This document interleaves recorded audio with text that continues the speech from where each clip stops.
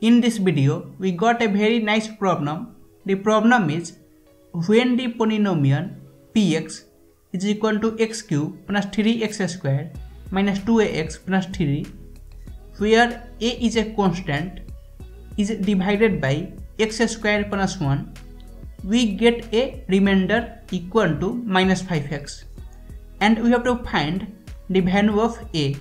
So here the polynomial px is divided by x square plus 1 and we get a remainder minus 5x. So if we divide px that is x cube plus 3x square minus 2ax plus 3 by x square plus 1 then x times x cube plus x and now this sign will be opposite minus minus and x cube and x cube will be cancelled.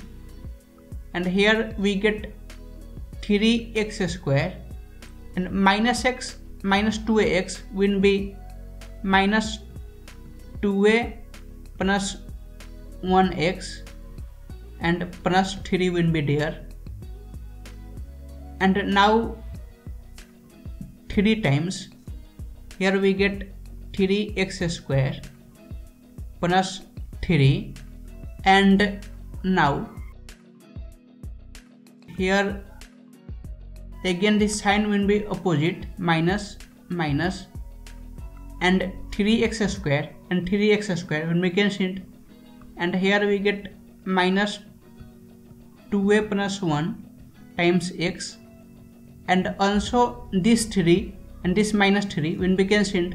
So by manually dividing we get a remainder of minus 2a plus 1 x. And here the remainder is given as minus 5x so these two must be equal.